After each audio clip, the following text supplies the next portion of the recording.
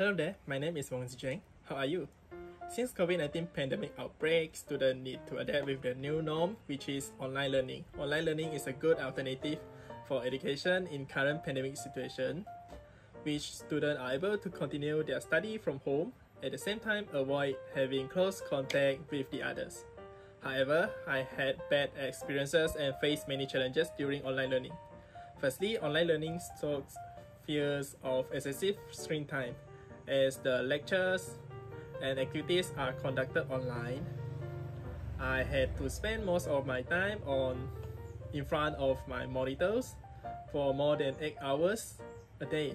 Hence, I feel having online learning is more is way more tiring than having physical class. In addition, I suffered back pain and neck pain.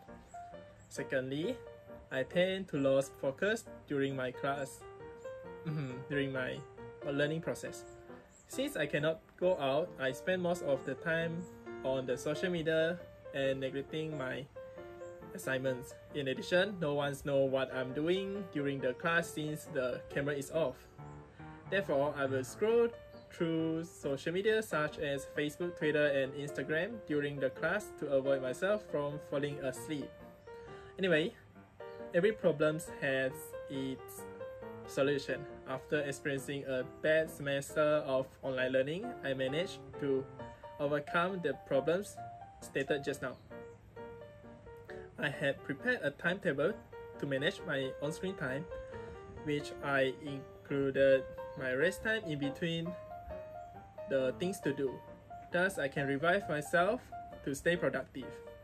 In addition, I had learned the ergonomic desk setup to maintain proper sitting position and reduce back pain and neck pain.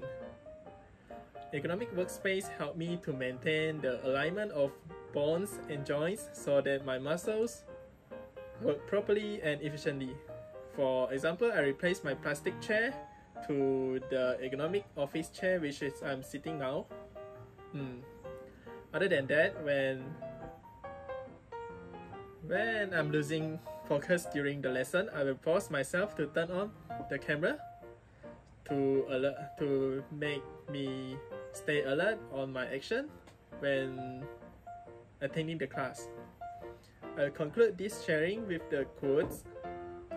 We don't grow when things are easy. We grow when we face challenges. Therefore, we should take this as an opportunity to improve ourselves. Mm, I hope we can return to our campus soon. Thanks for watching.